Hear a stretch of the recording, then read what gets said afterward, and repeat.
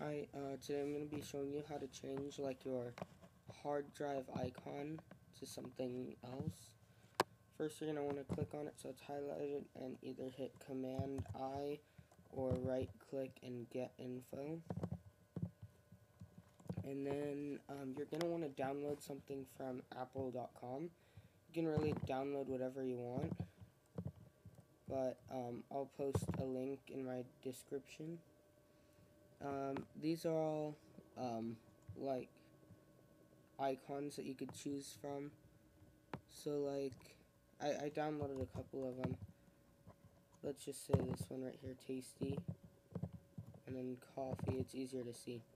Then you click on any of the icons, not the PNG though, and not the ICNS. Just click on the one that just says the name open that back up. And then we're gonna right click, so control click on the picture. Or if you're like this, how I used to be, just right click. Um, get info. And then we can close this. You're gonna want to um, click on this so it's highlighted blue, and then hit Command C or um, edit copy. And then don't unhighlight that. And then I'm going to go over here to the hard drive click on it so it's highlighted.